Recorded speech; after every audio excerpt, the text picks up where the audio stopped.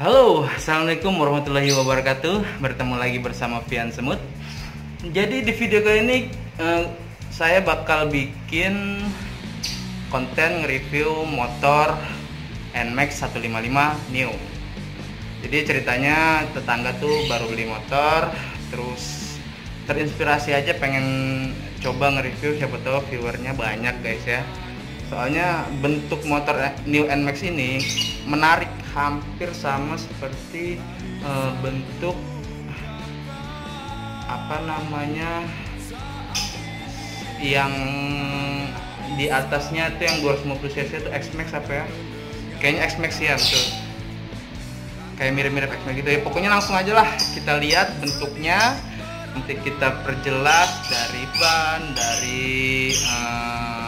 headlamp, dari speedometernya, dari lampu, dari pokoknya semuanya kita coba bahas ya.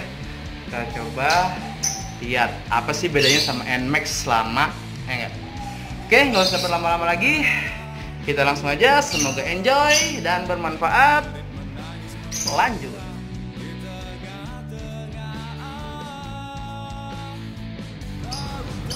Oke okay guys, ini dia penampakan New NMAX 155 2020.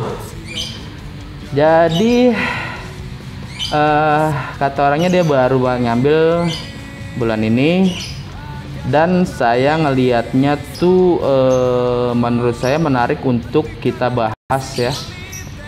Karena tampilan body dan uh, stop lampnya menurut saya uh, sama seperti kakaknya yang 250 cc kalau nggak salah X Max guys. Jadi saya tertarik untuk review ini dan saya minta izin sama yang punya untuk uh, motornya di review di channel YouTube saya. Dan alhamdulillah dikasihnya guys. Oke kita langsung aja. Ada apa sih uh, di NMAX New 155 ini? 2020 out. Semoga bermanfaat dan menghibur. Lanjut bro.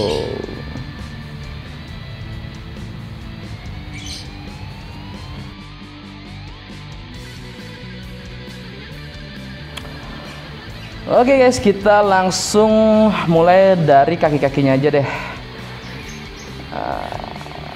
dia menggunakan uh, ban ukuran apa ya untuk menopang badannya yang bongsor ini guys. Apakah memadai? Kita lihat dulu. Di sini dia menggunakan ukuran 110 per 70 ring 13 guys. Oke untuk badan yang bongsor. Dan pengeremannya hmm, mantap guys. Ada pendinginnya tuh kipasnya keren keren kita lanjut ke belakang. Di sini wow filter udaranya gede guys. Dan dia menggunakan sok tabung double ya. Jadi soknya kanan kiri guys. Hmm lanjut kita uh, lihat di belakang dia juga menggunakan double disc guys. Atau rem belakangnya cakram juga. Iya dong sesuai dengan uh, badan yang bongsor dan cc nya yang gede harus ada double disc. Dan dia menggunakan uh, ban ukuran 130 per 70 ring 13 untuk ban belakangnya guys.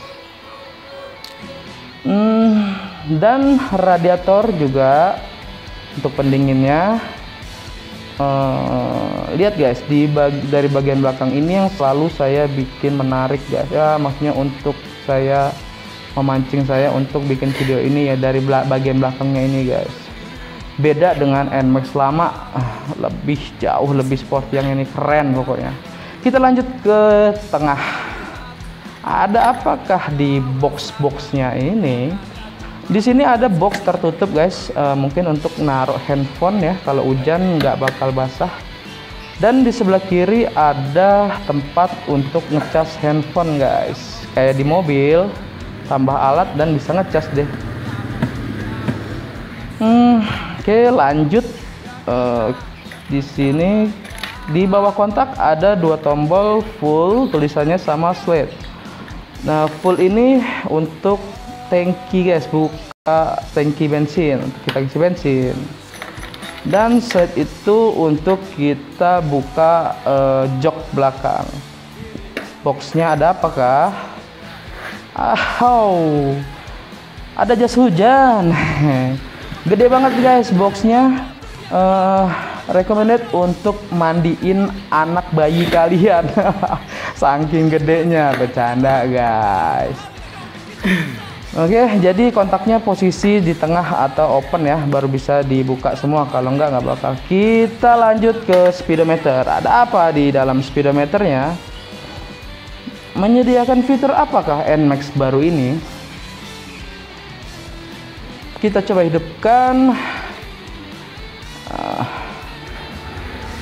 Oke, uh, mesinnya halus dan kita langsung lihat di saklar sebelah kanan di sini ada tombol otomatis stop guys. Maksudnya kalau kita di lampu merah kita tekan tombol yang ke bawah dia bakal stop dan mati sendiri.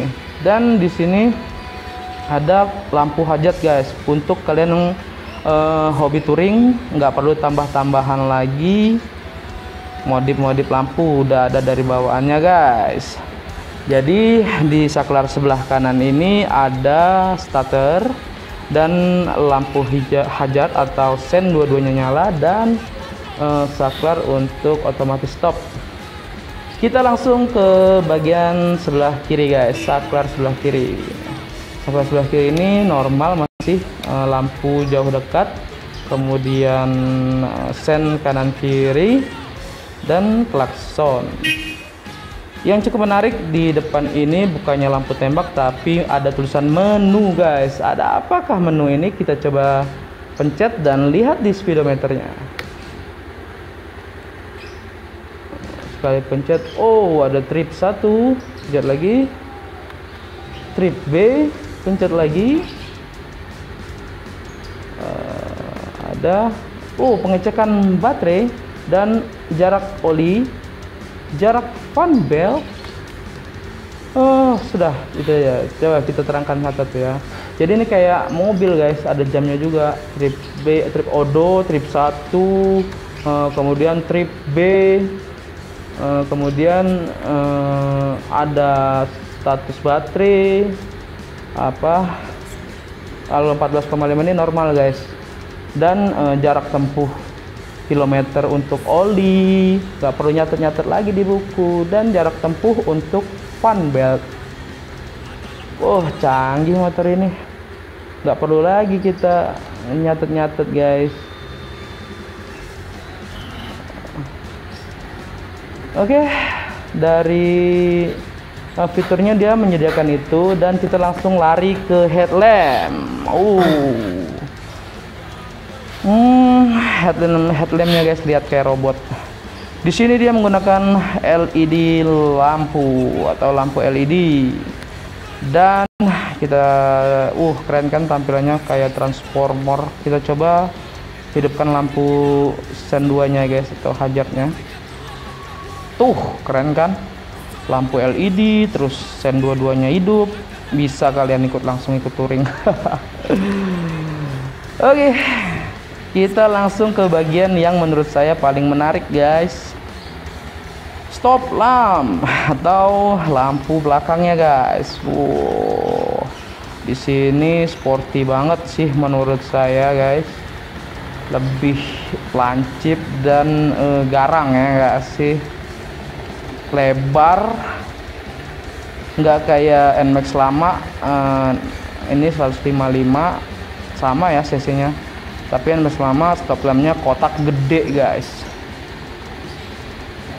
Ya itu aja mungkin yang bisa saya bahas. Terima kasih terima kasih. Wassalamualaikum warahmatullahi wabarakatuh. Salam Fian Semut